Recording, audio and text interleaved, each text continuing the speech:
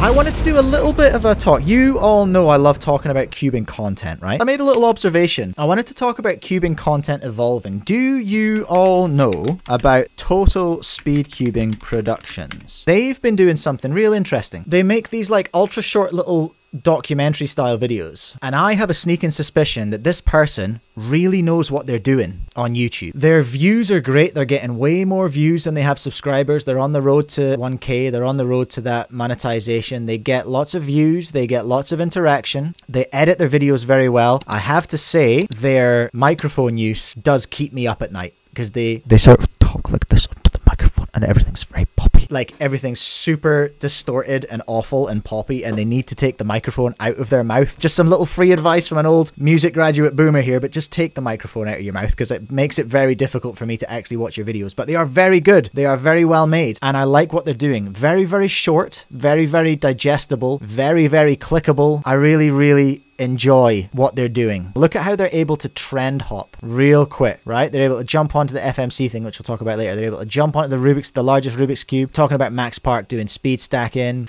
all this kind of stuff. Look, there's Jasper. That's how I first found out about them because they made a, a, video about Jasper and that got shared. But I really am interested in what they're doing. I think cubing content is evolving. Interested to know if you know them. If you don't know them, go and subscribe. Go and comment on one of their videos and tell them that Mike sent you. That would be pretty funny because I would like to get in touch with them and, and be able to react to their videos because I think they're pretty cool. So they're doing that. They're not doing entertaining videos like our mate Ting Man was talking about. They're not doing, I mean, they are doing entertaining videos. They're not doing fun videos you know, like in that sort of old 2019 meta, one cube, many cubers, cube songs, all that kind of stuff. Someone else who surprised me, and this is why it really jumped into my head and I thought it was worth mentioning, was Cubing Encoded. Cubing Encoded, Mike, speaking of 2019 meta, that's deep in it. But look at Cubing Encoded's latest video, right? We know Cubing Encoded, it's all very cute, it's all very pranky, it's all very challenging. I've not watched the whole thing yet, but they created like a little documentary on the downfall of VCube, which I was like, that's a bit of a sidestep for them, because look at their their their cubes are always a bit challenging. They've dropped off for sure since they went to uni. They've gone to Berkeley. They're very they're a very clever person, obviously. Wait a minute, isn't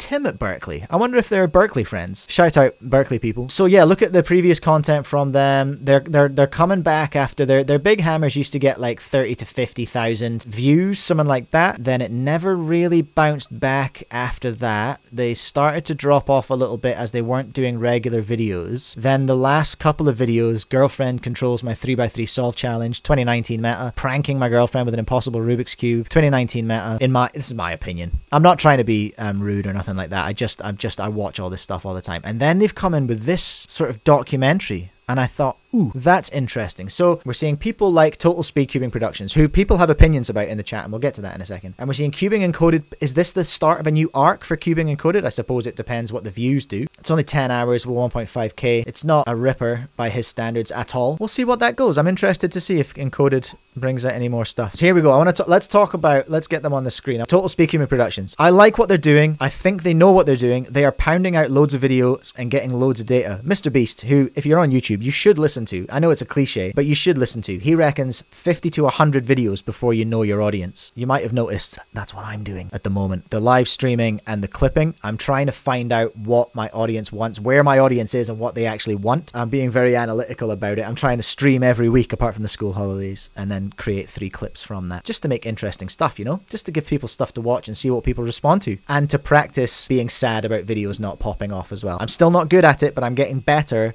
at not beating myself up when a video totally flops. James finds TSP problematic in a similar way to Matthew Mayernick. I don't know if I've watched much Matthew Mayernick, to be honest. Often the analysis isn't very good. I mean, arguably, James, that's my whole shtick. My analysis is terrible. I rely on people telling me things. I'm here trying to learn stuff, I suppose, is what I'm trying to do. Curious Nick, a bit clickbaity sometimes. Again, I'm have you seen my thumbnails recently? That's the game. That's what we're trying to do. We're trying to get those clicks. You've got to fight for them. I'm trying to do good clickbait as opposed to bad clickbait. I'm trying not to actively lie. I'm trying to at least tell you what's coming in the video in a way that, that I can feel comfortable sleeping at night. You know what I mean? Cookie Robber, often their analysis isn't very good or there's actual misinformation. I hope that they I hope that they are good at clearing up misinformation, there was a community post of theirs which said, As the total Speedcubing Productions content team, we would like to apologize for our latest video, which is rightly pointed out by many of you was very much clickbait and added no real value. I don't know what video this was and it's killing me. If you can tell me what video it was, honestly, it would make me happy. They didn't say that they've deleted it, but this type of content is not what we aim to produce. So this kind of demonstrates to me that they really do know what they're doing. They're out here testing hard. What's their most popular one? Let's have a look because I'm interested. I like to see people doing well. I like to see metas changing. Something about somebody cheating is their top one. This cubing genius almost. Is that who's that? Incredible cuber that only goes I don't have permission to watch this. I shouldn't really do this. Yeah. Did they have it in the description? Ah, it is Andrew. I was gonna say, is that Andrew Fang? And of course it is. That's amazing. So I obviously I'm biased and I love that he's um, making content about New Zealand cubers. That's great. It's also it's funny how they're literally copying Total Running Productions' whole style. Oh, are they? I mean that happens though. I'm copying. Have you ever heard of H3 podcast? Have you ever heard of Moist Critical? Have you ever heard of Mutahar, Some Ordinary Gamers podcast? I'm totally. I mean I'm not copying their editing style, but I'm totally copying their content style. You do a podcast and you make clips, and I'm not afraid to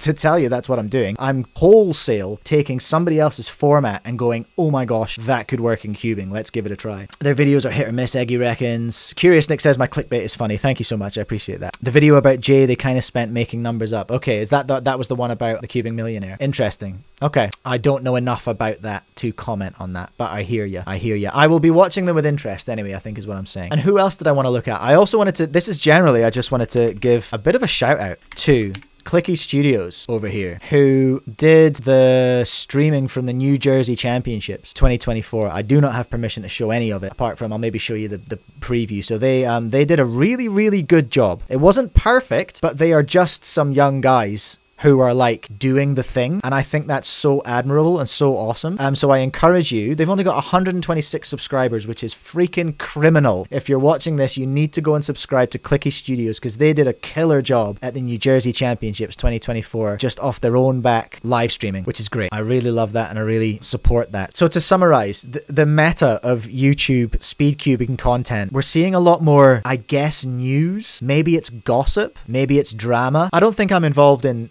making drama content because as I've said before, I'm an adult on the internet and most of the people I talk about are in some cases children. So I gotta be real careful not to be an idiot. You see what I mean? I can't be out here being a bully. And, and neither should anyone else, regardless of your age. Don't be a bully on the internet. But we're definitely getting into a, a gossip meta. I think. Are we? Possibly? What do you think about that? I'd love to know in the chat what you reckon. I'm all I'm so interested to get feedback on what I've been doing the last few weeks. I'm gonna try and keep this rolling for the rest of the year so I can find out where I'm going and what people are into. But I like that we're getting into more commentary anyway, you know? Because there's so much out there to be talked about. And I think people like Total Speed Cubing Productions, I think they are at the at the at the pointy end of that. And I think there have to be people out there making mistakes to an extent. I don't think I've made any absolute clangers yet. I've been wrong about stuff, but I've not had to like full on apologize for anything yet. I really hope that doesn't happen, but it's a very good, you know, it's a, there's a very good chance that I will one day, but I will be ultra careful to be ultra respectful. I think unboxings and stuff have are, are useful. They are still useful and they'll never go away. Um, but they're not the main thing that I'm on